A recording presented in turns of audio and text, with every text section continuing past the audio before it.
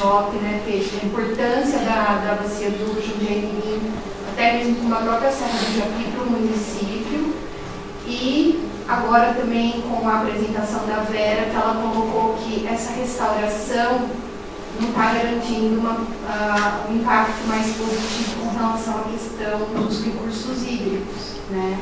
Talvez é, esse, esse impacto mais positivo tenha que levar gerações para conseguir fazer, é, trabalhar essa questão com produção de água.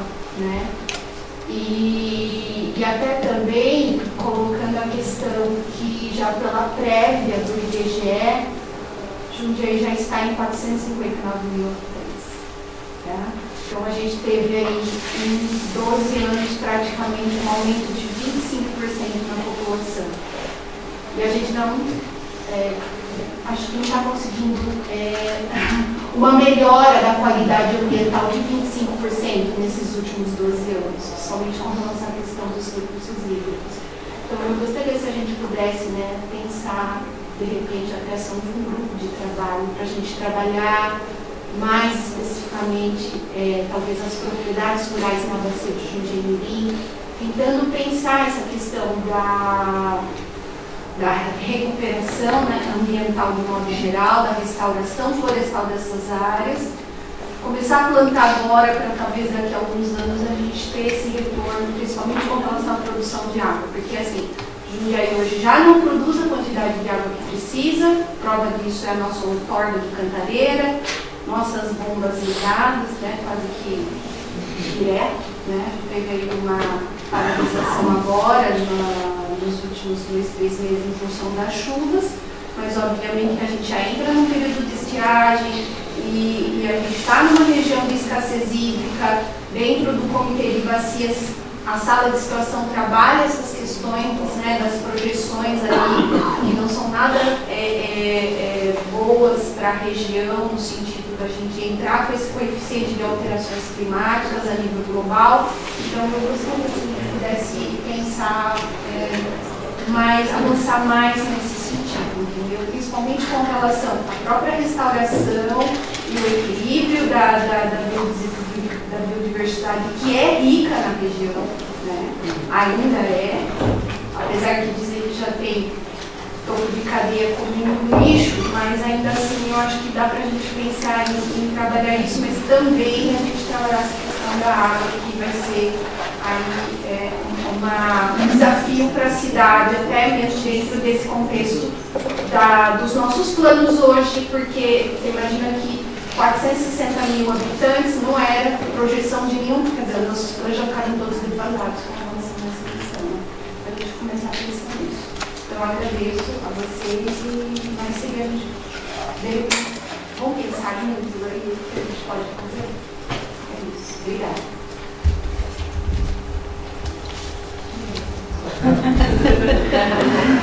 Eu venho, eu venho pensando muito nisso, né? Por isso que eu venho, eu venho discutindo até com o pessoal da CAT, venho trabalhando com o conceito de agricultura coletiva. Né? Que a gente fala de agricultura. Nós estamos para vias de, de aprovar o Microbacia 3, né? que é um programa do Banco Mundial.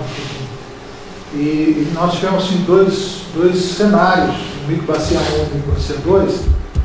São, Microbacia é um projeto é, financiado pelo Banco Mundial, né? para que a gente tenha, desenvolva gestão de territórios com base em bacias hidrográficas. Né? Então, teoricamente, o sonho é que a gente tenha o prefeito, não é o prefeito Jundiaí, todos os prefeitos, né, sabendo muito bem quantas bacias tem no território municipal, o que, que significa isso, o que, que é uma hierarquização de bacias, né? bacia primeira, segunda, terceira ordem, entender essa questão, porque o território nosso ele é todo, todo, vamos dizer assim, recortado por bacias, e nós vamos ter que entender isso, né? E, e como eh, colocou, a gente tem um, um aumento progressivo, né? Na, na, demanda por água e por qualidade de água, porque a gente estraga muito água, né? Então, a cada ano que passa, a água piora, né? E, e, e por exemplo, Jundiaí, esse, esse modelo que nós temos hoje de transposição é um modelo que um modelo muito agressivo, né? Você imagina se você fosse um peixinho, se você estivesse na bacia de Jundiaí Mirim, daqui a pouco eles ligam uma bomba lá, né? Então, no, no, no, fluxo, só o fluxo energético, da quantidade de água que é transportada de uma bacia para outra, a transposição, é, a gente vê quem for no, quem for no né, que é um, um restaurante de Jair, dá para você ver é, as raízes das árvores aparecendo. Então aquilo tudo é por conta de, um, de uma dinâmica do fluxo de água muito forte, né, que, que se joga na calha do rio. Né, e, e nunca nós discutimos efetivamente é, a, a, construção da bacia como uma, uma bacia é, produtora de água. Né? E é uma coisa, eu estou falando isso aqui por conta do conhecimento de causa, a gente estudou muito aqui, mas é todos os municípios. Não estou fazendo uma crítica a Jundiaí, não. É uma, é uma, é uma, uma geral, a gente trabalha todos os municípios, nós temos um problema crônico. Né? E a gente tem que entender duas coisas importantes. Quantidade de água se dá por entendimento de drenagem, funcionalidades hidrológicas. Entender isso né?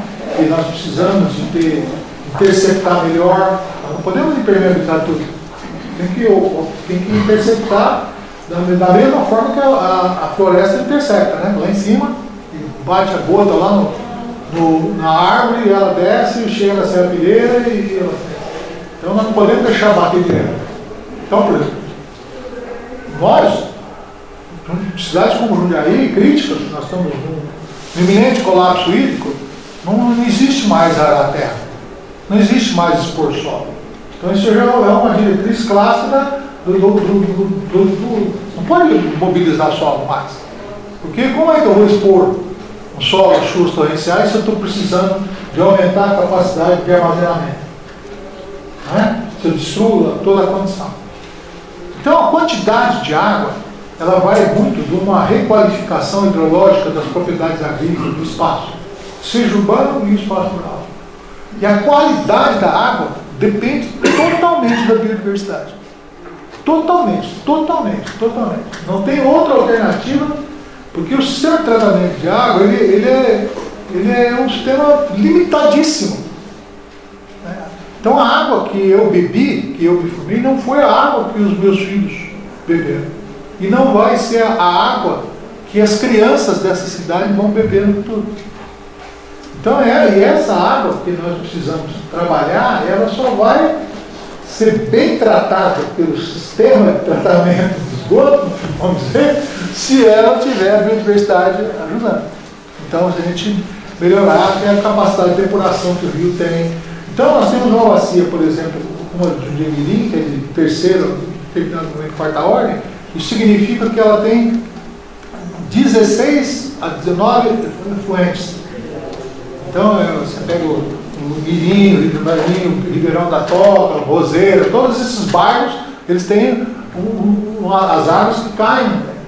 E, e, aí que nós vamos ter que entender isso. Né? O que, que significa os contribuintes cumprindo o papel ecológico dentro desse contexto. Né? Então, é, esse coletivo é fundamental. A gente poder entender, é, eu brinco, brinquei com vocês, né, os povos da bacia. Então tem que entender, os povos da Toca, os povos da Roseira, Toca, Roseira são bairros de Jundiaí, né? Então aquele pessoal de lá, ele tem um papel hidrológico. Não é mais aquele agricultor que está lá para produzir uva ou a demanda que nós precisamos hoje, nós precisamos de um agricultor hidrológico, do homem hidrológico, uma pessoa que tem uma noção muito clara das relações dele com a água. E que ele tendo esse entendimento, ele tem um entendimento do, do homem restaurador. Não, não, não, há, não há outra alternativa para a gente. Nós não temos dinheiro e não tem capacidade técnica e equipe para a demanda do, da degradação que nós causamos. Então, nós temos que, que convocar a sociedade para isso. Não vai ter jeito. Nós temos que criar novos, novas funções, novas funcionalidades. Por isso que tem esse conceito da nova agricultura. A agricultura que a cidade precisa. Então, é, isso a gente precisa discutir. Não adianta a gente tentar entender a agricultura como agronegócio. Agronegócio é um, um agronegócio de agricultura de exportação. A agricultura produtora de alimento é uma agricultura focada, uma agricultura reducionista das necessidades que nós temos. E aí o que aconteceu com a cidade? A cidade desenvolveu a economia. Ninguém vai parar o desenvolvimento econômico.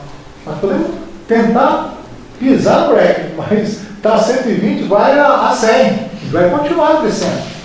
E quando cresce, nós temos que financiar a agricultura de uma outra forma.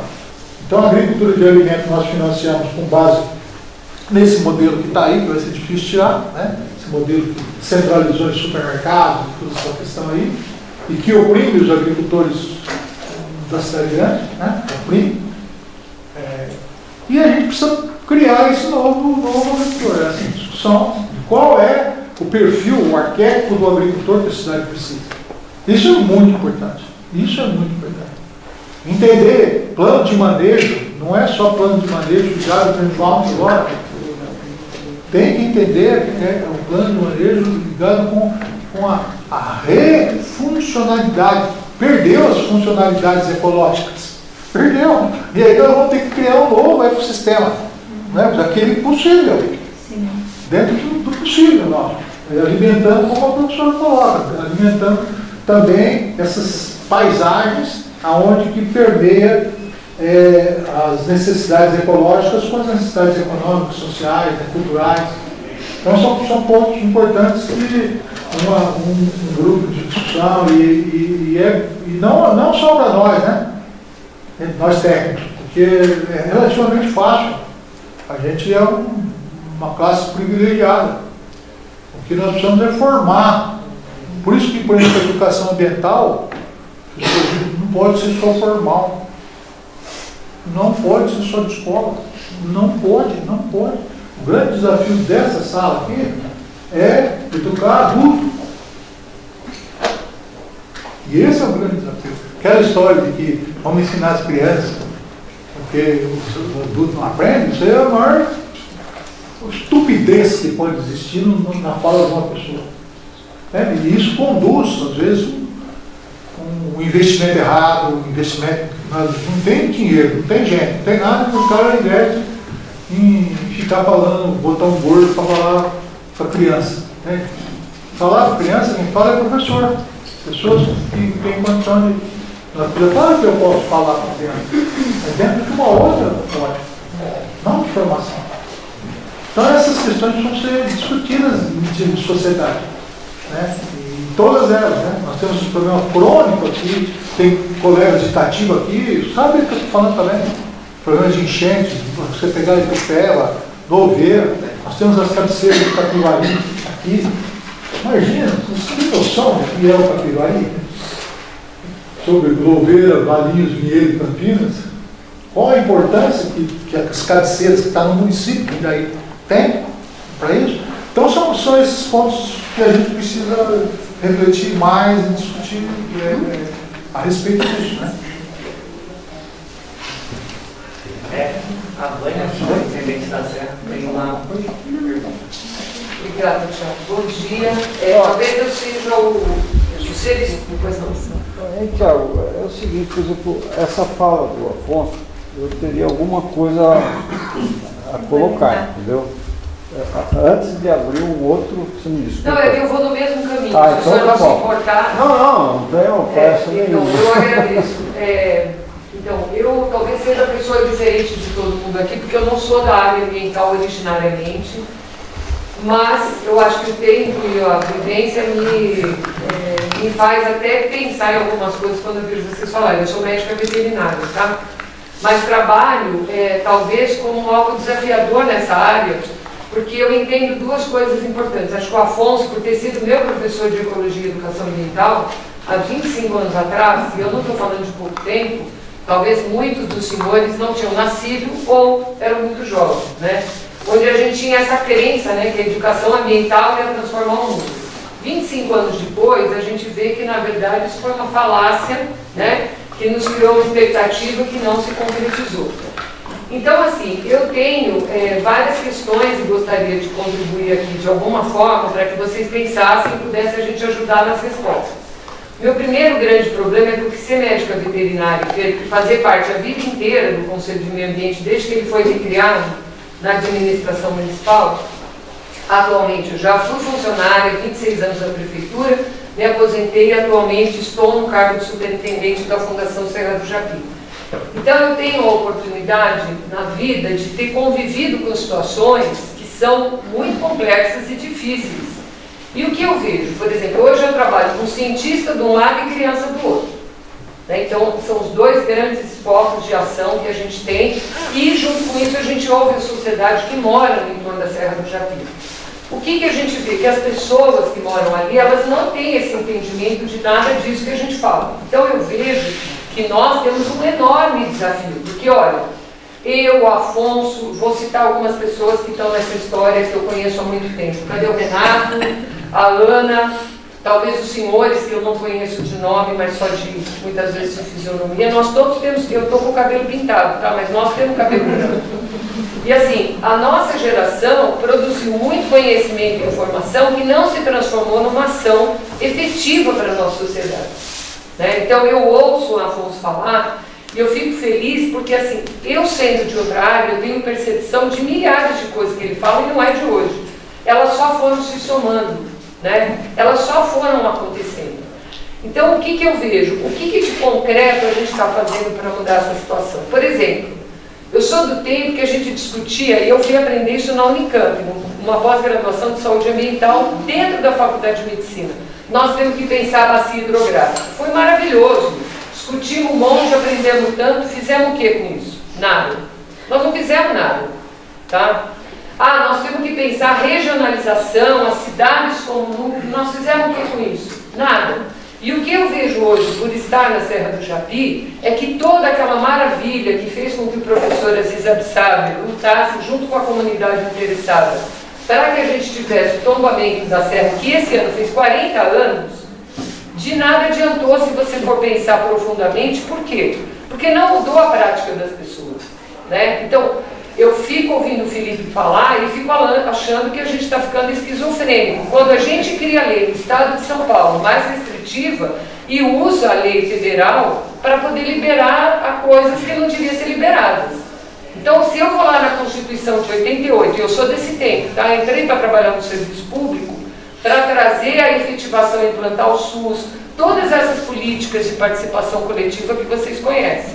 Tá? O que, que, é a minha grande preocupação? De fato, a ciência fica muito distante da população e mais distante ainda da sociedade.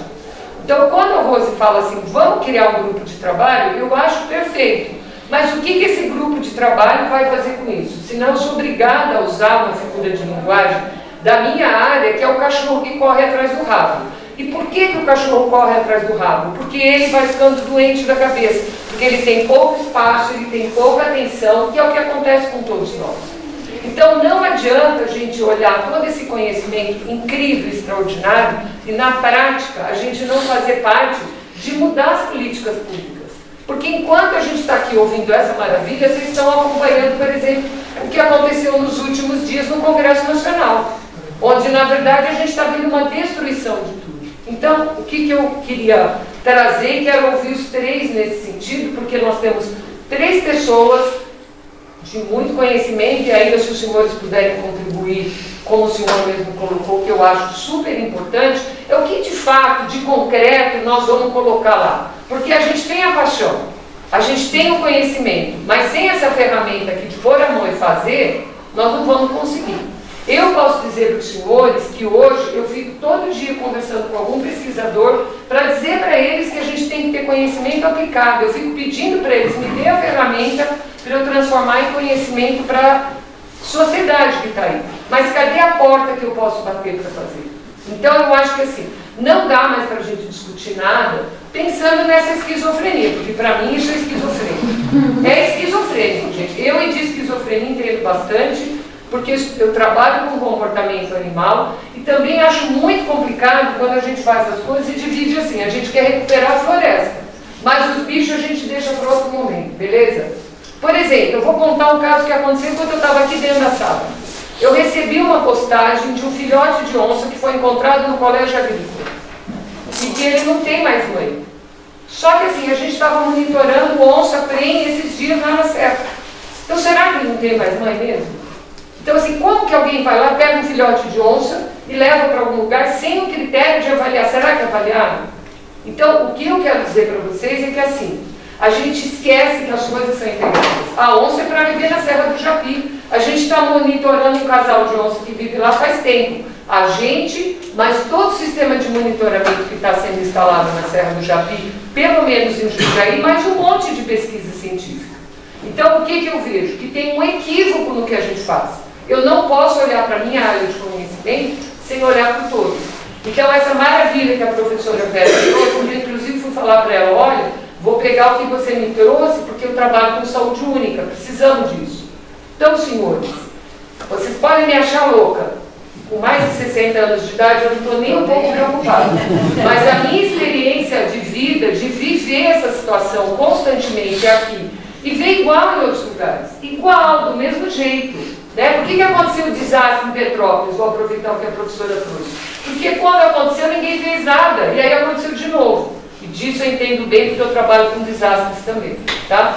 Então, assim, qual que é o problema? O que, que nós vamos fazer de concreto para mudar essa realidade?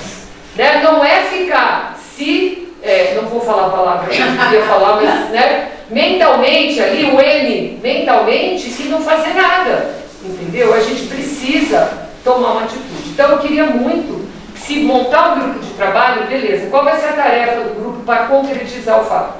Porque tudo isso a gente sabe que precisamos fazer. E aqui, olha, deve ter pelo menos quantas pessoas tem nessa sala, Tiago?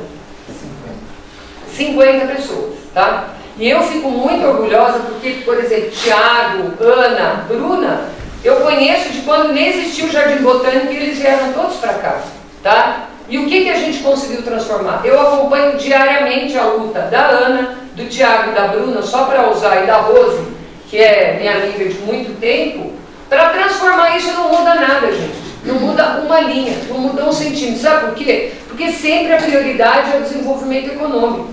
Não vai ter desenvolvimento econômico, não vai ter desenvolvimento econômico daqui 10 anos, se a gente não fizer uma coisa hoje, já devia ter feito há 10 anos atrás. Eu estou reproduzindo aqui para vocês, por exemplo, coisas que eu tenho acompanhado em audiências públicas lá na Câmara dos Deputados, lá no Senado, porque conhecimento científico está lotado. O argumento do contrário é só o econômico. É só o econômico. Adorei quando o Afonso falou, olha, negócio de agronegócio é uma coisa, negócio de prover recursos e sustento para a população é outra coisa. Porque as pessoas que têm condição, elas financiam essa falácia coletiva. E nós não podemos, estejamos onde estivermos, continuar acreditando nisso. Só que também, se contrapor e não se manifestar, isso é péssimo. Tá? Nós precisamos sair dessa situação. Nós não precisamos mais continuar nisso. Nós já estamos em 2023. Nós vamos esperar quando? Chegar 2030, 2050? Até lá já colapsou. Já colapsou. Ah, eu não tenho dúvida que até 2030 nós, mais a metade do país, estão colapsados com a falta de água. Tá? Então, eu acho que nós temos que ter desse evento maravilhoso um encaminhamento para que cada um lute no seu pequeno espaço e faça essa troca realmente. Cada um daqui tem que sair com uma responsabilidade de convencer pelo menos mais 10 a tomar uma atitude diferente, porque senão a gente vai continuar fazendo M mental aqui, tá? E que não vai ficar interessante. Eu só não vou falar o M para não ser indelicada com os homens que estão na sala, tá? É só isso. Só para vocês entenderem que não é aquele M do número 2 que vocês pensaram. É um M masculino em geral, tá? Só isso. Obrigada.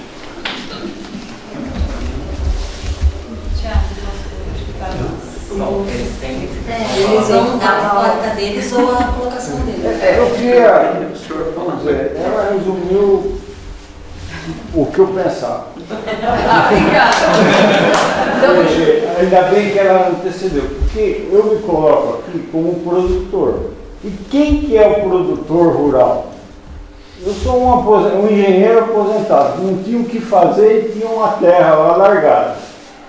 Daí eu me metia a produzir. E não tenho formação nenhuma. Tudo isso que vocês estão agrícola, é, tudo isso que vocês estão colocando, o vocabulário, tanto que o Afonso apresenta, você precisa conhecer as palavras para poder se expressar. Então, é, que a senhora também apresentou.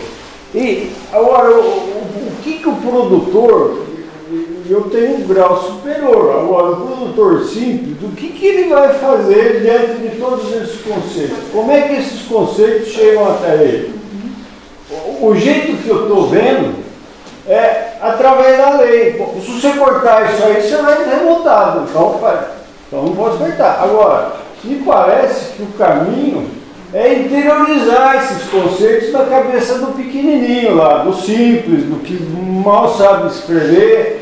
É, é, me parece que é essa a saída. Vamos dizer, O- a, a lei em si é uma coisa, assim como a ciência, são, é um desvio enorme né? de- da lei e da ciência para o produtor, que não tem. O nosso produtor é mal educado. Eu, eu sou uma exceção. O Afonso é uma exceção. Alfredo. Alfredo, é. Mas era você que queria falar. Então, eu, eu queria lembrar disso daí e ela colocou muito bem isso. Eu, eu, eu porque a- as, digo mais, foi citado sempre o produtor, tal, a, o- o- a pessoa física em geral, tudo. Agora, os nossos governantes, eles querem se reeleger. A gente está vendo isso que acontece na prefeitura de Jundiaí. Eu converso com o pessoal agrícola, eles concordam comigo em tudo, me ajudam em tudo. Agora, a parte da fiscalização, eles querem faturar. Então, se você pegar um sítio aí, lotear, vai gerar renda. Então, o legislador, vamos dizer, quem administra a cidade quer renda. A verdade é essa, vamos dizer. Isso daí não. Eu posso, em particular, explicar detalhes dessa história que eu estou vendo. Eu estou no bairro do Travil, ali em volta, todo mundo quer vender a terra. Daí o cara não tem uma legislação, sempre tem uma legislação impedindo as coisas. Então o cara que quer fazer direito não consegue, porque a legislação não deixa. É, é área rural, você não pode lotear. Então o cara faz loteamento clandestino, então vira favela. Quem quer fazer as coisas direito fica cercado de favela. Por quê? A- nível do, do- o que eu falei, está faltando um elo aí que precisa se educar. É, é quem está administrando, é o poder. Falar só com o produtor e com, com a pessoa física não resolve, tem que falar lá em cima. Mas é só isso, não, não vou me estender. Fazer duas, só fazer duas considerações, aí eu acho que é importante. Então, é, quando a gente fala produtor, isso, isso, nós não estamos só falando para o produtor agrícola, né? nós estamos falando para os nossos governantes. Então tem uma coisa importante para a construção desse, desse agricultor que ele precisa, que chama modelo de ATER. ATER, A-R-T-E. ATER. A-R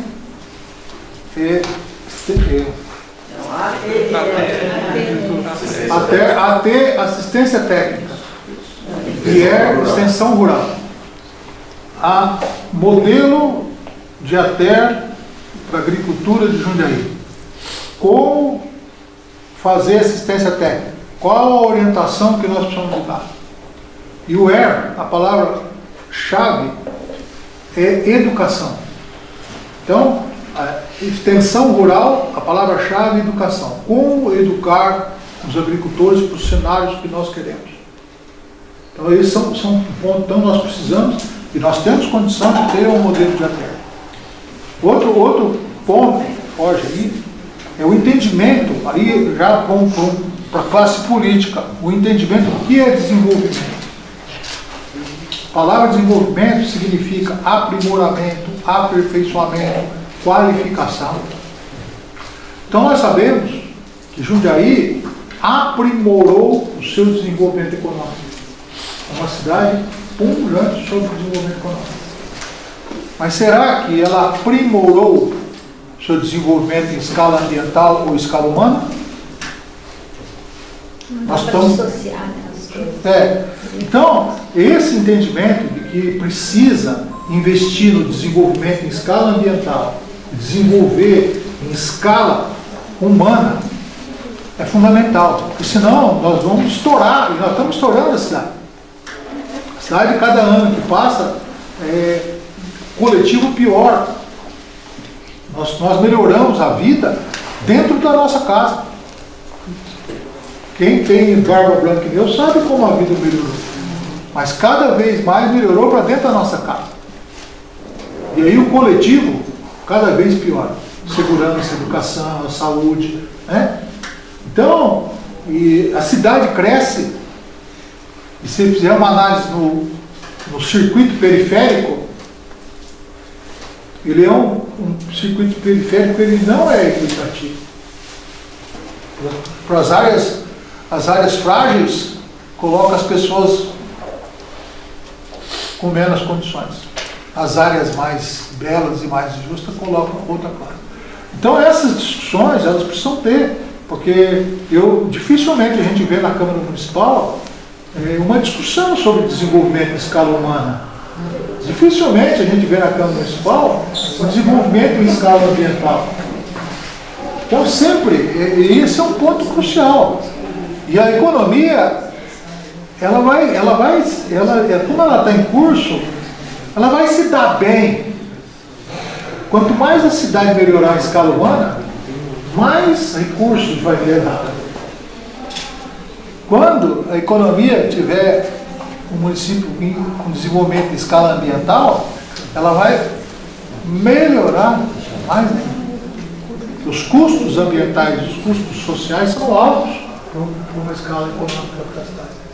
Então, esse é um ponto crucial da dificuldade que nós temos é de ter esse diálogo com as pessoas que a gente elege. E, e essa atividade dialógica é, entre nossos representantes e a gente é que nos foi cessado, cortado.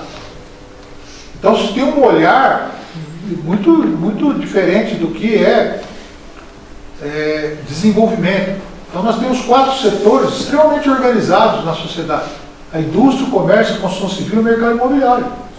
São os quatro, quatro setores organizados, que fazem parte de todos os conselhos, com, tudo com pessoas. E os outros setores? Todos desorganizados, inclusive a agricultura. Posso só incluir uma mineração, porque ela é em vários É, setores está dentro da indústria, vamos dizer É a assim. mesma questão. Então, esses são pontos importantes que a gente tem que discutir, porque a gente vem discutir, é, trazendo soluções. Né? Hoje, a gente debateu um pouco sobre a questão do desenvolvimento em escala ambiental. Esse entendimento ó, saiu de uma, de uma coisa macro que a professora colocou, e eu, eu tentei trazer uma proposta para vocês de, um- de um- de uma, de uma intervenção dentro da propriedade. Senhora? Sim, uma ação concreta. né? É, dentro da propriedade. A gente, poxa, e essa discussão, de, de- dessa reflexão do qual é a agricultura que uma cidade como Jundiaí, como Sorocaba, como Campinas precisa, ela vem se entendendo. A gente vem discutindo isso, mas com muitas dificuldades. Muitas dificuldades, porque é, não é boa, né? Então a gente precisa realmente é, buscar é, a, a construção né, de modelos de ATER mais ajustados à característica do território municipal, aqueles, aqueles ATER, desenvolvimento de modelos hegemônicos baseados só na tecnologia, aquilo está caindo. Né? Então a gente tem que entender a leitura do território, desenvolver modelos mais específicos para a cidade e entender o, rumo do desenvolvimento, que não é só econômico. Então nós botamos o desenvolvimento econômico em curso, e agora? E o desenvolvimento em escala ambiental? E, e, e, e, formar? Desses 420% formou, quantos oprimidos não tem? Sim. Entendeu? Entendeu? Então, não é, não é, a cidade cresce para formar favelas? Isso é melhorar? Isso é a gente errar no centro da cidade? Quando a gente começou errando em saneamento, e coisas, e a gente levar o erro para a periferia? Eu aprendi no centro e na metade do, do município, agora a periferia está pior do que o centro. Tem alguma coisa errada no, no desenvolvimento municipal. Então essas discussões eu acho que a gente precisa ter, porque é problemático. E, e a gente que está na, na academia, nós somos pagos por vocês para estudar. Né? Então, é, a gente está lá tentando estudar. E muita dificuldade, realmente, porque num país como o nosso, mas, mas tem soluções, nós temos muito, muito caminho a, a, a andar e a gente tem essa. Eu não fiz a pergunta para a senhora, é uma utopia? Não é, né? Eu, eu acredito que não é. Ela tem cara assim, de ser utópica, né? Então, é, mas não é, é porque está estudando, concorda? É real. Né? Desculpe, o senhor queria falar? É, voltando para a água, uma coisa bem prática. É, o problema do água-pê nas águas. Que solução tem? Então, ou, é, ou, ou ele é uma solução? O senhor queria falar isso, professor? Não, pode falar. Que tomou conta de todas as nossas. Então, o aguapé é uma expressão da nossa, da nossa desordem como, como, como civilização. Ele é uma poluição biológica. Então a gente introduziu, de certa forma, é, é, essas macrófitas, parte delas, a gente tem um estudo mostrando que elas vieram com a escravidão.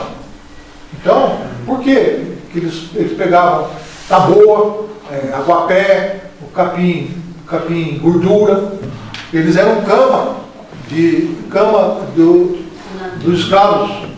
O coco, né? Não existe coco da Bahia. Isso aí, coco da Bahia é só nós que falamos. É, coco, o coco vinha dentro do- do- dos navios como lastro e como água, porque, né? Então, aí jogava, jogava os cocos no mar para aliviar o navio, ele foi para a costa e formou as costas lindas ali, né? Então essas questões são problemáticas e nós vamos ter que discutir isso. E da mesma forma que nós temos os PETs, né? É, Hoje nós temos uma, uma estrutura que é uma poluição biológica, né? É, dentro da nossa sociedade, e que nós adoramos, né? Eu tenho um cachorro lá que eu tenho paixão por ele, né? Mas nós temos que administrar isso e, e, e- e é uma coisa que nós precisamos é, discutir, porque é, no nível que a gente está, a gente está construindo ambientes para as? Pro- nós construímos, é, nós construímos ambientes para estar boa, concorda? É, Agora tem que entender isso, né? Como a gente não construir esses ambientes. Pessoal, é, só um minutinho, questão de ordem. Eu era o cara legal do evento, mas eu sou o chato do horário. Vai precisar terminar. E a gente tem três pessoas inscritas, que é a, Eliane primeiro, o Bruno e a Alana que saiu no telefone. Vocês querem perguntar? É, eu gostaria de fazer uma colocação. Meu nome é Eliane, aqui do lado está a Joelma. A gente está há um ano guardiões de um sítio, é, que a gente intitulou Sítio Cumbuca, no espaço Tijuco Preto, que é um bairro limítrofe aqui da, da cidade de Jundiaí, né, no limite da cidade mesmo, é, divisa com Campo Limpo, Várzea e Cajamar, e a, a bacia hidrográfica do Guapeva. E nós, é, nesse um ano, é, lógico, somos é, permacultoras, buscamos, nos, damos, né, não somos da ciência, mas buscamos nos capacitar para entender aquilo é, que, com qual estamos lidando. Temos, estamos nessa palestra por conta dessa questão da revitalização, que para nós é algo fundamental.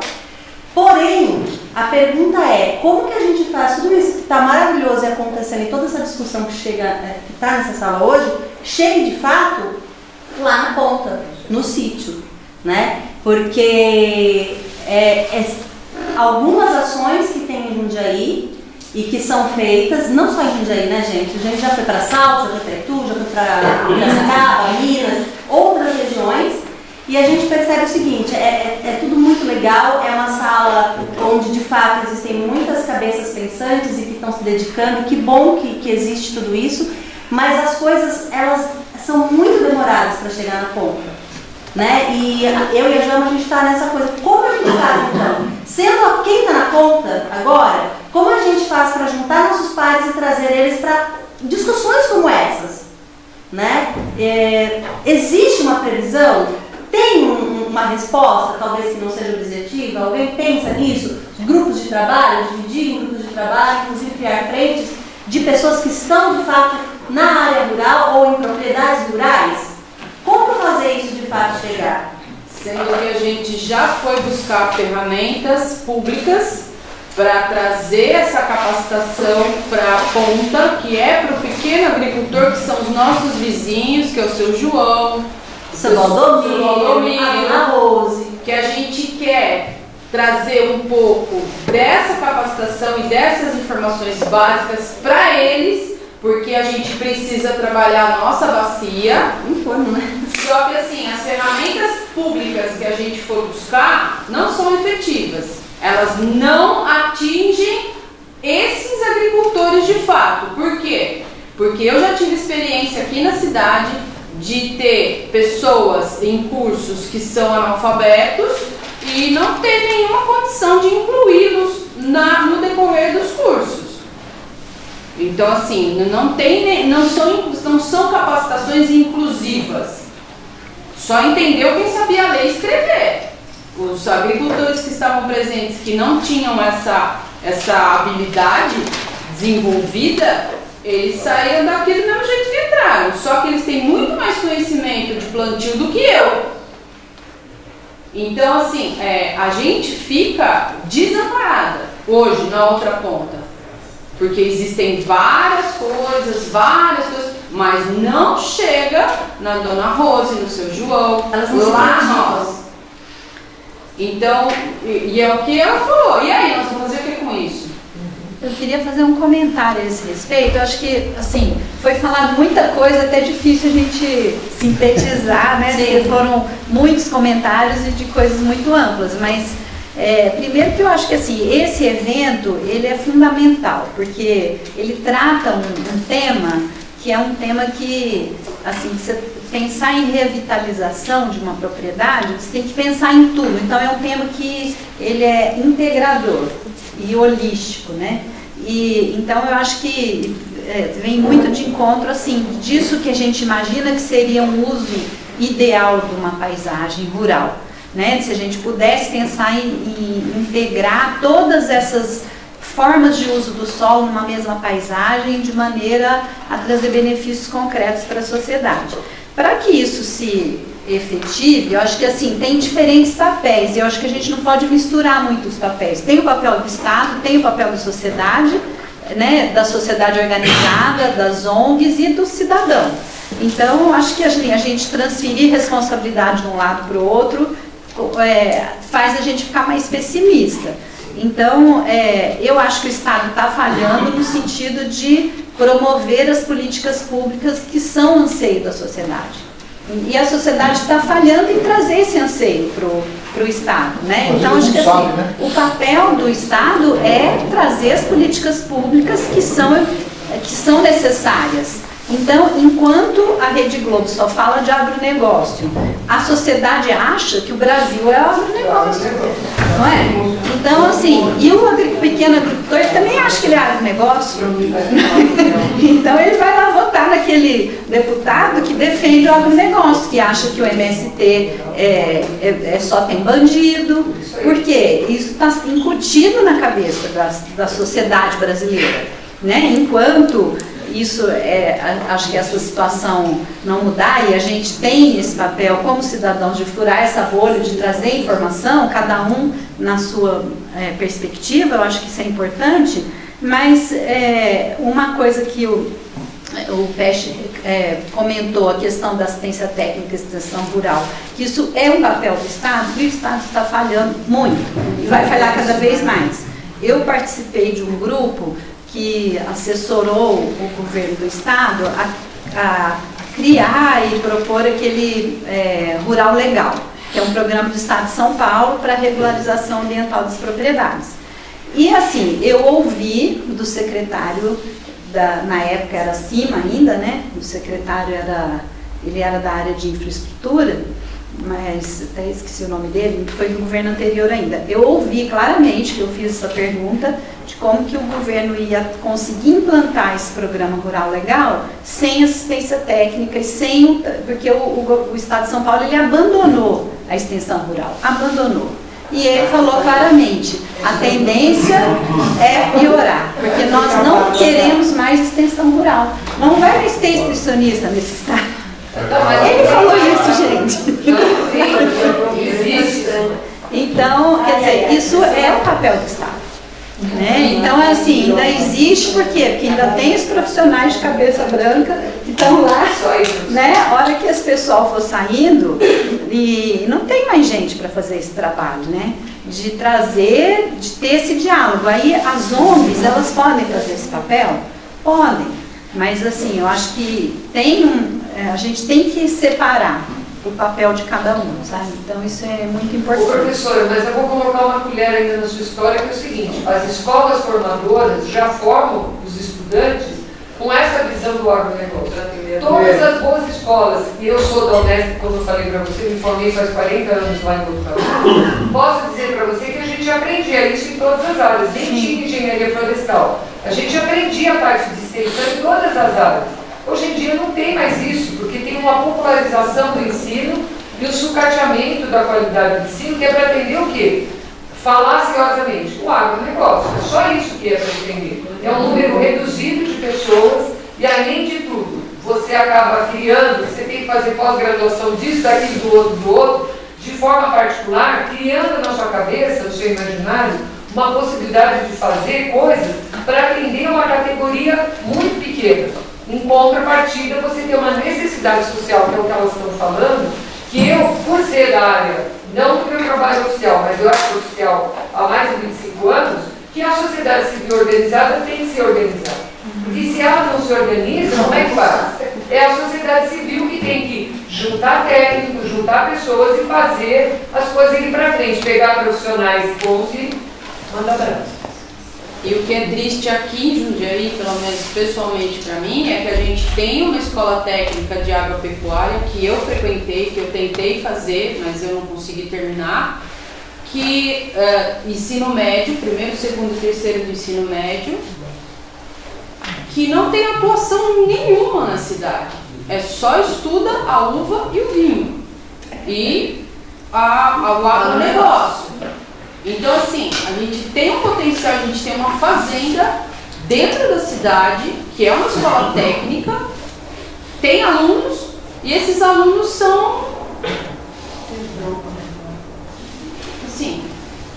Cabelo. Pessoal, é, tem a Ana para falar. É, discussão é super pertinente, a Isabel também quer falar.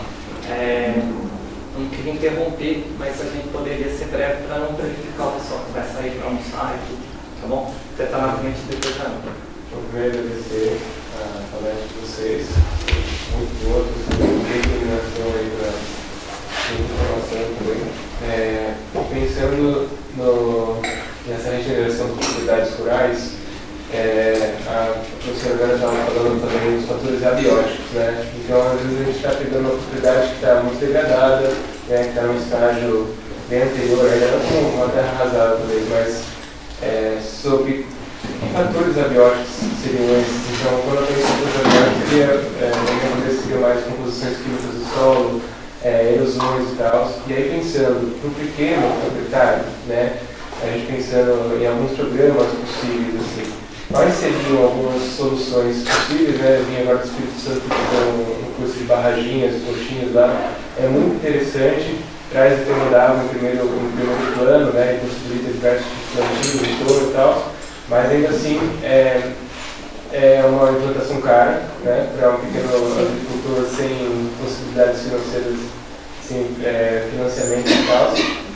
É, nem sempre tem assistência técnica suficiente né, para isso. Então, eu queria perguntar um pouquinho desses fatores abióticos, que para mim é, pode ser uma base para né, esse auxílio da, próximas etapas de exploração. É, a gente fala muito de restauração, parece muito que é vegetação na cabeça, eu, eu fico pensando, é, também estou estudando mais essa área e queria saber um pouco mais sobre isso. Então, quando você tem uma modificação muito drástica que a gente chama de fatores abióticos, são os fatores do meio físico, que é o clima, solo, é, radiação solar, né? aí dentro do ecossistema a água se ela infiltra se ela escorre superficialmente, os processos erosivos. Então, assim, primeiro você tem que conter esse processo erosivo, tem que fazer a água infiltrar, tem que melhorar as condições do solo para depois você pensar em trazer as plantas de volta, né? Então poderia dar um. Então, muitas vezes isso não é trabalho de restauração, faz parte do contínuo restaurativo, mas é um trabalho muito mais de engenharia, né? De você fazer primeiro a água infiltrar, que é muito mais efetivo do que plantar árvore naquele momento ali. Então, acho que isso é, tem que ficar muito claro na cabeça das pessoas. Não quer dizer que isso não seja, porque ele faz parte desse contínuo, né? Ao longo do tempo. Eu ia dar um, podia dar um exemplo muito claro para mim, é uma aberração, tem, é, as pessoas me criticam que eu falo isso, mas o que foi feito, por exemplo, lá na, na, na, na, no desastre de Mariana, de se criar uma fundação Renova, que está lá, resolveram fazer reflorestamento das áreas arrasadas pelos de, de, é, rejeitos lá de Mariana. Isso para mim é pegar o dinheiro, jogar fora e botar na Rede Globo, porque é, é, a questão socioeconômica das pessoas não foi resolvida e a questão da, da poluição da água, do solo, é isso que tem que ser resolvido, não por ficar plantando árvore lá. Tá? Então meus amigos de florestais ficam bravos comigo, mas eu acho um absurdo. Tá? Eu não consigo. É, e é muito dinheiro, gente, é muito dinheiro, é muita gente ganha dinheiro com isso, sabe? Para mim é uma aberração.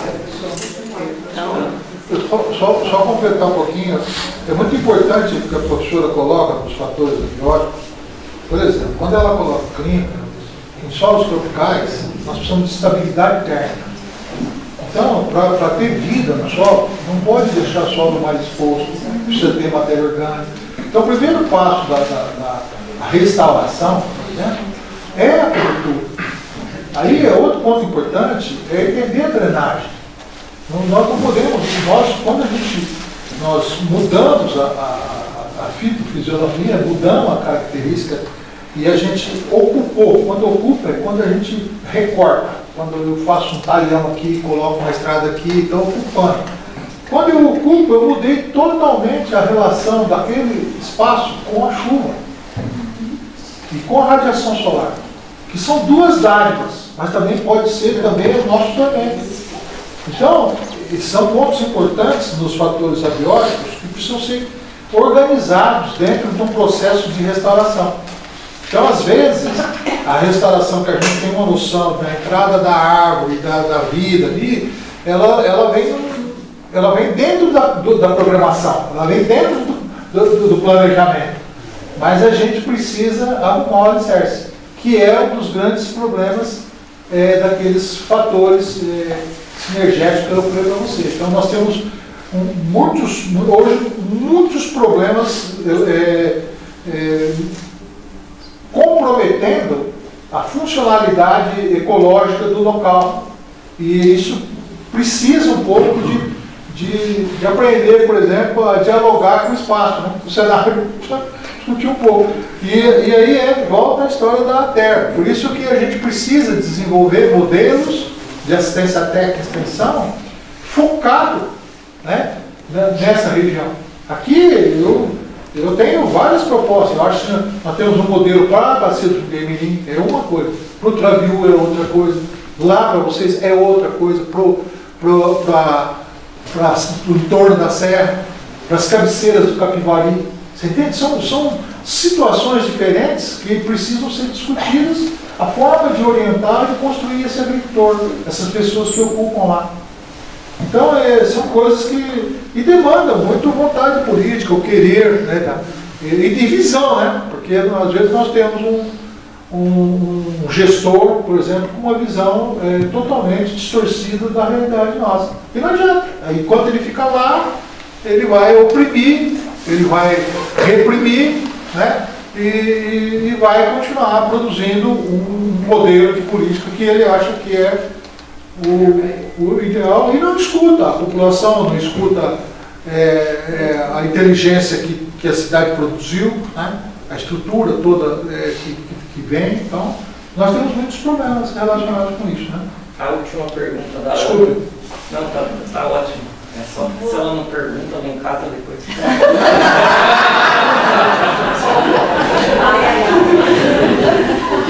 Não, vou ser breve. Em cima do que a Rosa falou, depois que a Vânia, tentando, sejamos práticos. É, Rose, sim, temos programa Nascente Jundiaí, programa que a DAI faz parte.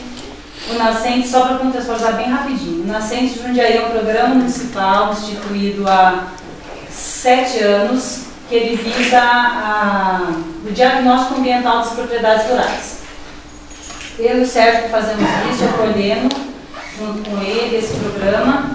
E, e dentro do programa, ele é para o município todo, tá? É para todas as bacias, são sete bacias principais, né?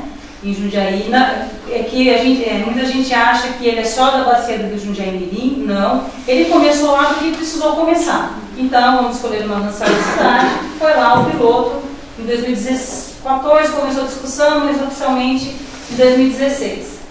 Lá sim, é, 90% das propriedades que estão no programa da SEM Jundiaí estão na bacia do Jundiaí Mirim. Hoje são 48 propriedades que aderiram ao programa e a gente tem quase 41 hectares em processo de restauração, que daí depois vem a questão que eu vou fazer para a Vera. Então, só para dizer que você falou, ah, não tem nenhuma ação direta. É que aquilo que o Afonso falou. Talvez seja um trabalho de Não, não, formiguinha, é, só na, completar. verdade, na verdade eu só acho que a gente precisa avançar Então, mais. é isso que eu vou falar aqui. Então, assim, é um trabalho de formiguinha? É. Mas só quem está lá na minha sala, do lado, lá da nossa equipe pequenininha, sabe o tanto que a gente trabalha e realmente talvez precise de mais divulgação. Mas, assim, são quase 41 hectares em todas as bacias, né? 90% está na bacia de Jundiaí Mirim. A gente tem um trabalho específico lá, que não é só plantio de árvore, a gente tem o cercamento, você afasta os fatores de perturbação. São seis modalidades, depois eu posso passar a lei, o decreto do Nascentes, que eu acho que vale ler, pesquisar, a gente vai revisar essa legislação daqui a um tempo. Mas são seis modalidades que englobam o programa Nascente de Jundiaí. Uma delas, plantio, conservação, e tem a parte do saneamento rural, e o que o colega falou ali, que é na parte de conservação do solo, que a gente vai tentar implantar as barraginhas, porque sim, é caro, né, você fazer dimensionamento, e a gente não tem equipe técnica para isso, tá? Então, só para dizer que o programa existe, ele atua, só que ele não aparece tanto quanto deveria, daí entra no que você falou e o Cavânia. Aproveitar aqui, até mesmo assim, eu percebi que uma vez falou, Ana, vamos publicar isso. Daí eu perdi prazo, ele nem brigou comigo, o Felipe não briga, mas assim, eu acho que vale a gente, sim, fazer um trabalho, daí entrar o grupo que você está propondo, cada um com a sua função, dá para até o final do dia fazer isso, não sei se é agora, de falar assim, eu tenho um programa que tem legislação, ele tem arcabouço legal, ele tem as propriedades, principalmente na área da bacia, que chama Nascente Jundiaí, mas não é só Nascente, são qualquer, qualquer área que o proprietário rural esteja disposto a direcionar. Eu, eu quando vou lá, eu falo, "Ih, lá vem a moça, eu falo aquele canto lá, mas por que não aquele canto? Mas não está na PP, não tem problema, aquilo lá é bom, você vai usar? Ah, não sei. Falei, então eu vou deixar essa área pintadinha aqui, depois eu ligo de novo para saber se você decidiu direcionar para o plantio nascente. Por quê? Entra na área de recarga, que o nosso Afonso sempre fala, que é tão importante quanto as áreas de nascentes, né, das nascentes.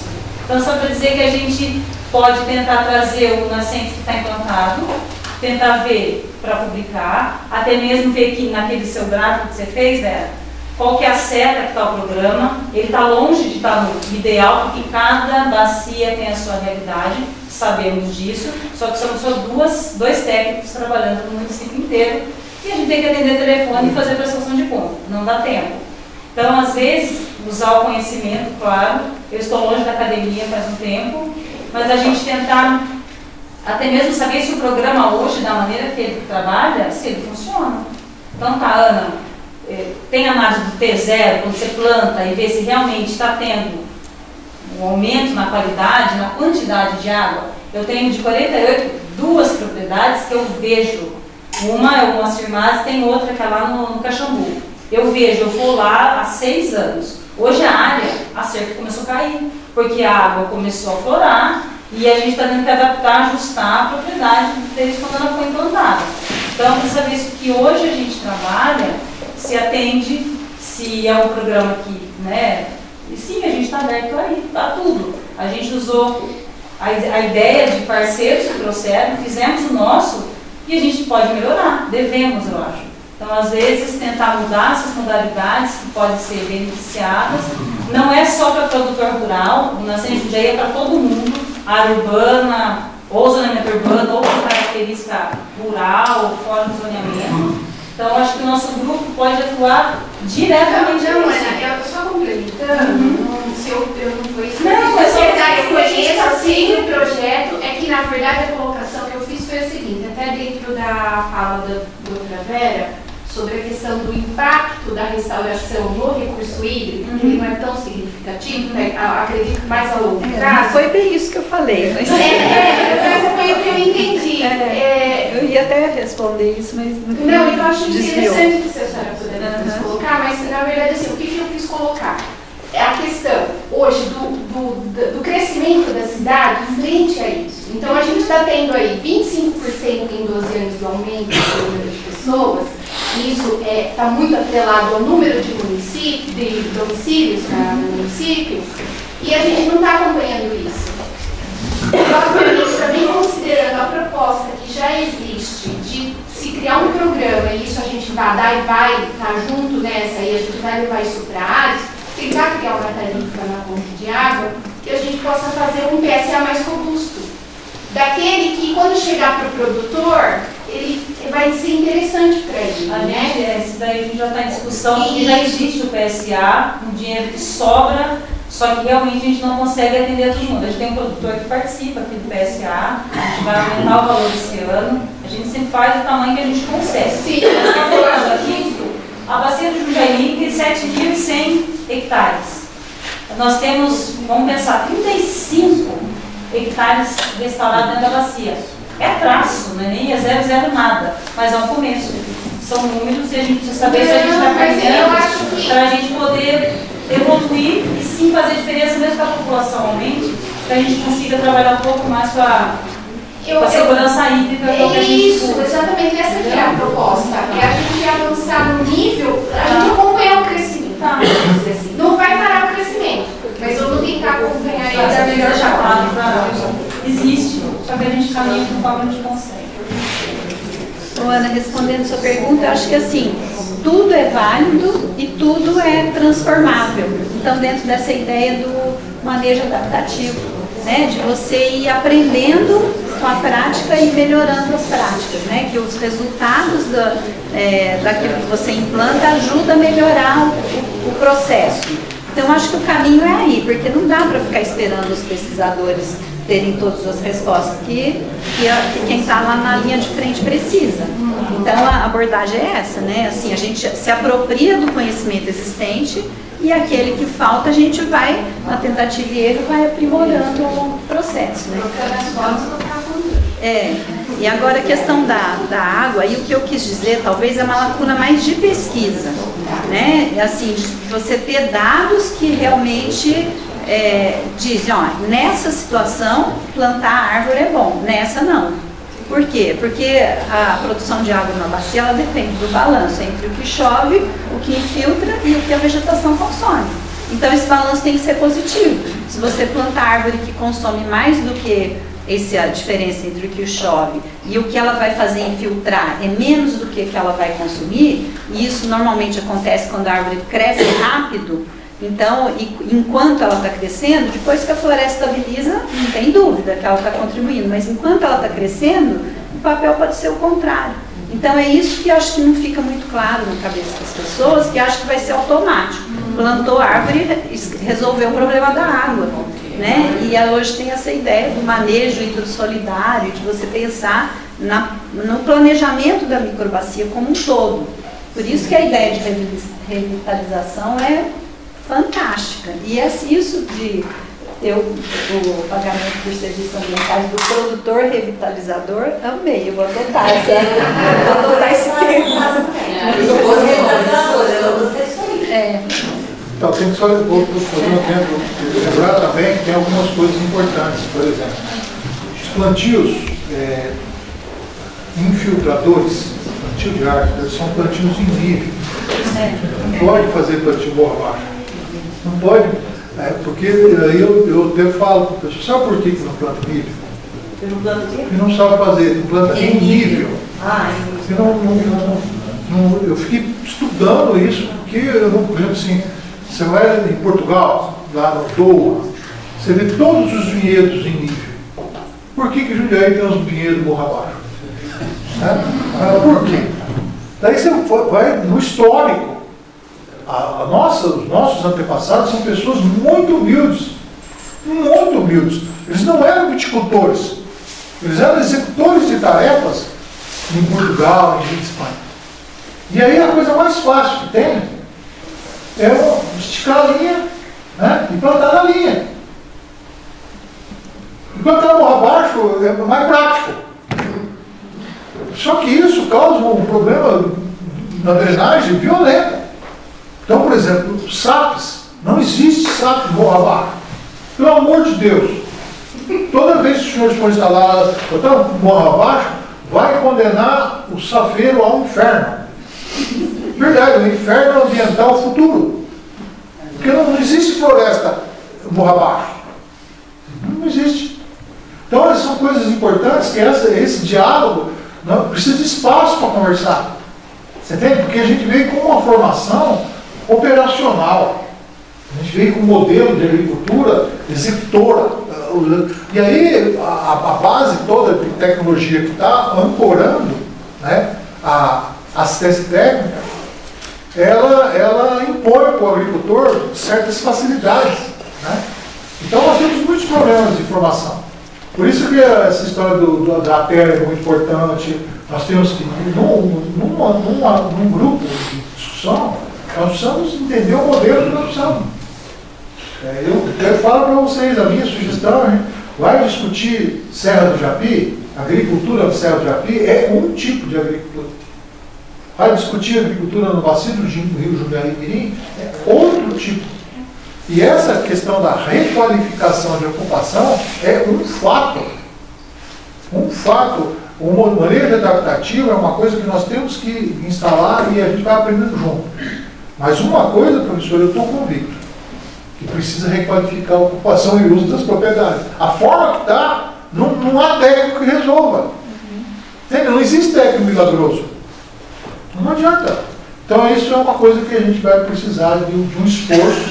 Por isso que a educação ambiental de adulto é muito importante.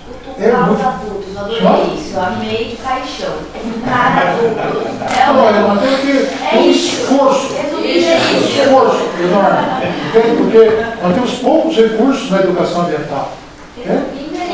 E a mesma coisa de- de- de- de- na recomposição. Nós temos pouca muda, pouco recurso para fazer um- uma cova, pouco recurso para cuidar, pouca gente para fazer, e o cara planta uma abaixo. Planta uma muda numa área degradada. Você entendeu? Condenar, condenar. Se você fosse um IP, você gostaria de ser plantado numa área quê? Então, essas questões que a gente precisa discutir. E é muito importante isso, né? Pessoal, a gente finaliza a parte da. É, gostaria de falar uma coisa bem rápida. O único jeito da gente acabar com o sofrimento, seja humano ou animal, é o conhecimento. Então, assim, tem que ter uma lança na ignorância. Então, não é o Estado que vai receber, resolver isso. O Estado, ele, ele vem durante 20 anos diminuindo, diminuindo. Uma ideia, um plano, muito bem executado. Quem que vai entrar no seu lugar mais cedo? Quando se aposentar, ninguém. Cadê o Luiz? Então, assim, Sou, né? Vai- ficar tão solitário quanto eu. precisa multiplicar. Então, assim, o Estado, ele não vai dar conta aumentou 25% da população, diminuiu 25% do servidor. Então, assim, a gente está cada vez mais lidando com o caos. Então, o conhecimento e a propagação do conhecimento tem chance de melhorar, senão. De uhum. Volta aqui em França. Uma coisa importante. O circuito do campo é uma coisa muito legal que a gente preparou. Então essa questão de entender é a revitalização a partir do que eles fizeram aí.